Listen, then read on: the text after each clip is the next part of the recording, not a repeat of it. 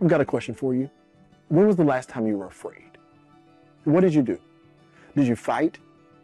Did you flee? Did you panic? Did you freeze? Sometimes fear does this interesting thing to us and in us.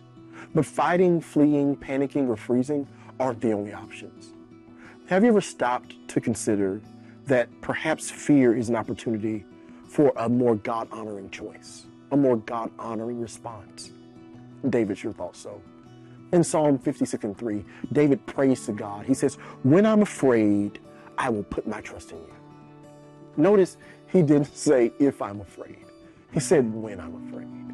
David knew that there would be days when evil people in difficult circumstances would stand right up in his face and steal his courage from him and cause him to cower in fear. Though he might be tempted to react in those other ways, he chose to let fear activate faith in God. Fear pushed David to rely on and, and be secure in the faithfulness of God. He's trustworthy. And those who put their trust in him will be kept safe. They'll be surrounded by God's unfailing love and they will be unshakable. Blessed or happy is the person who trusts in him. Trust in God dispels the fear of man. When we're afraid, let's not fight, flee, panic, or freeze.